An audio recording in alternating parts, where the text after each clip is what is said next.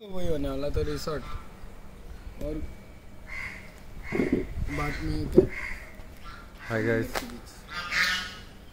we are at home stay in Kashid beach